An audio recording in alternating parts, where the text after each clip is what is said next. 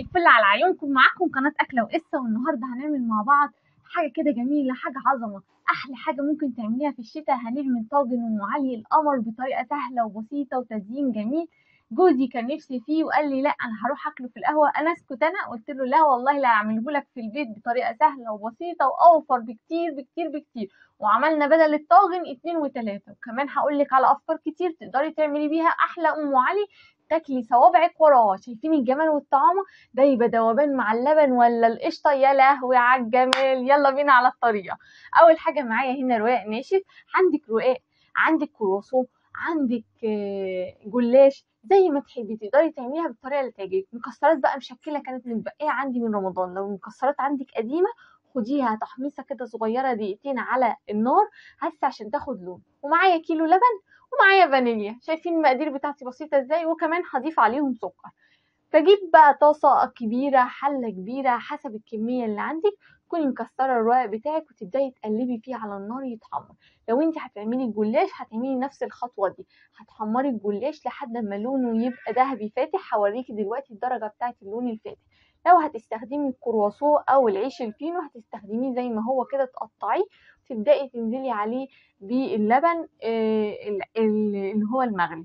لكن أنا بحبها بالرقاق جدا وطبعا في ناس بتحب تعملها بعجينة الملفي بتطلع طعمها تحفة. بس أنا بعزها قوي ام علي بالرقاق شايفين الجمال؟ لون ذهبي كده ويا دوبك أخدت التشويحة بتاعه السمنة. معايا بقى هنا كيلو من اللبن. الكيلو ده بالظبط مظبوط على الأربع طواجن اللي أنتوا شايفينه. حسب بقى ما تعملي لو حابة تعملي كمية أقل قللي اللبن.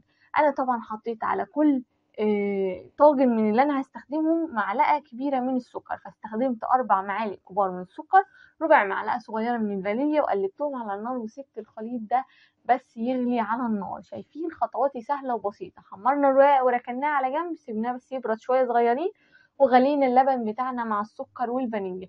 طفيت كده عليه ده شكل الرقاق بتاعي بعد ما بقى لونه ذهبي. شايفينه شكله حلو إزاي؟ عايزة أقول لكم القرمشة ولا الريحه فظيعة. حاجة كده قمر قوي. جربوه هيعجبكم جدا بالرقاق بعد كده بقى جهزت الطواجن بتاعتي. مهم قوي إن انت تحطي الطواجن بتاعتك في الصينية أو حاجة عشان تقدري تطلعيها بكل سهولة وما تتلسعيش لا قدر الله من الفرن وتقدري يعني تفرغي الطواجن بكل سهولة لأنها بتبقى طالعة سخنة جدا مولعة لا قدر الله لو وقعت على إيدك أو على رجلك يعني مش هتبقى حاجة كويسة خالص.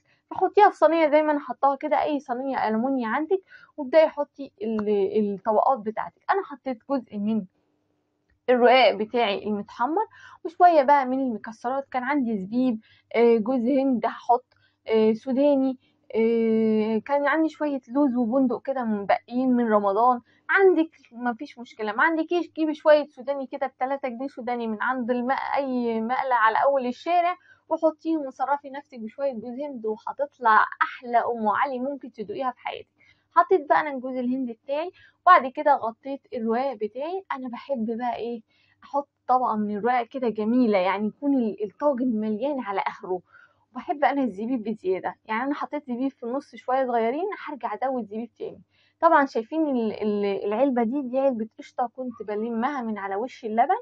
عندك قشطة مفيش مشكلة استخدميها هتدي طعم حكاية. ما عندكيش حطي حتة زبدة أو معلقة سمنة هيدوا طعم برضو. يعني ما عندكيش خالص ممكن تستغني عنها. طبعا أصحاب القلوب الضعيفة والدايت يعني إيه الموضوع هيبقى صعب معاهم جدا لأن الحوار من أوله لآخره فيه سمنة وقشطة حوار كبير قوي زي ما قلت لكم إن أنا بحب الزبيب جدا فزودت الزبيب بتاعي. هننزل بقى باللبن اللي بيغلي كده على الرقاق ونسيبه يتشرب مع بعضه زي ما أنتم شايفين كده. هسيبه خمس دقايق. عبال ما أجهز بقى إيه الوش القمر اللي أنتوا بتشوفوه دايما في المحلات وبتدفعوا في الطاجن الشيء الفلاني علشان خاطر تاخدوا الوش الحلو ده. هنعمل شوية كريم شانتيه ونحطهم على الوش. مفيش أبسط من كده. معايا كده نص كوباية من اللبن المثلج ومعايا كيس من الكريم شانتيه. ممكن تستبدلي اللبن المثلج أو اللبن الساقع بنص كوباية من المية الساقعة زي ما تحبي المتوفر عندك. طب أنا ما عنديش كريم شانتيه وما عنديش لبن أعمل إيه؟ حطي طبقة قشطة كده على الوش وحطيها تحت الشواية مش هتقول لأ هتطلع وشها جميل وطعمها حلو وتطلع دايبة وجميلة وغنية كده ودايبة دوبان ده شكل بقى إيه الطواجن بعد ما سبتهم شوية صغيرين. عايزة أقول لكم إن الرقاق أخد ودة مع اللبن كده وبدأ يتشربوا مع بعض. أنا بقى هنا كده حطيت الكريم شانتيه في كيس كده علشان خاطر أسهل على نفسي إن أنا أقدر أفرد الكريمة على وش الطاجن من غير ما الدنيا تتبهدل مني. دايما شايفين كده بفرده كده يعني إيه كروكي يعني مش مش بطريقة معينة ولا بشكل معين أنا بس عايزة أطمن إن كل حاجة كل قطعة من الفراغات متغطية بالكريمة عشان تديكي اللون القمر اللي شفتيه في أول الفيديو أو اللي هتشوفيه إن شاء الله في آخر الفيديو. زي ما أنتم شايفين كده طريقتنا سهلة وبسيطة.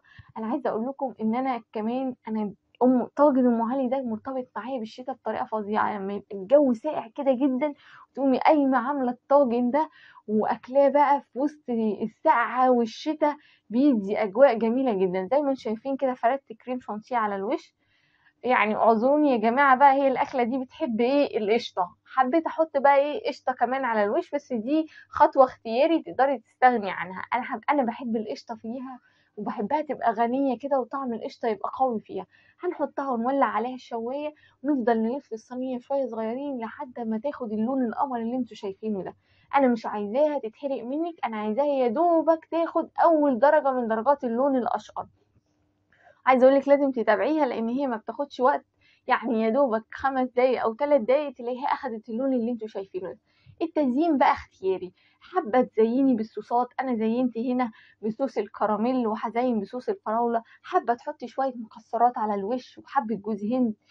هتطلع جميلة جدا. كان عندك شوية فستق كداب كده باقيين من رمضان.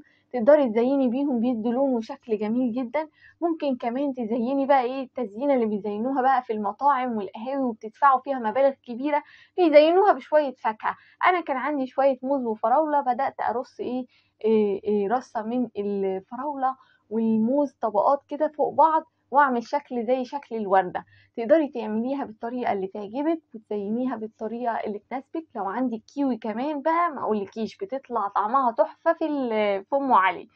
اكتبوا لي بقى تحت في التعليقات لو جربتوا الطريقة دي وعملتوها في التطبيقات تحت رأيكم فيها إيه. عايزة أقول لكم إن طعم الرقاق خطير بجد خطير وهستنى آرائكم وتعليقاتكم طبعا. زي ما أنتم شايفين كده أنا رصيت رصة كده من الفراولة وحبه من الموز وحطيت فراوليه صغنونة في النص كده شكل الورد قمر قوي. الجزء الأخير ده بس هحط عليه حبة مكسرات وأحط عليه شوية من الفستق الكداب. آه يعني حاجة بسيطة كده من عندك. عندك جوز هند ممكن ما عندكيش فاكهة خالص ولا أي حاجة قدميها زي ما هي وبألف هنا وشفا. يا رب الوصفة تكون عجبتكم. آه لو حابين تشوفوا لي وصفات أكتر دوسوا على علامة الجرس. ولو عجبكم الفيديو متنسوش تعملوا like الامر شكرا ليكم على المشاهدة وانتظروني في وصفات أخرى. bye bye!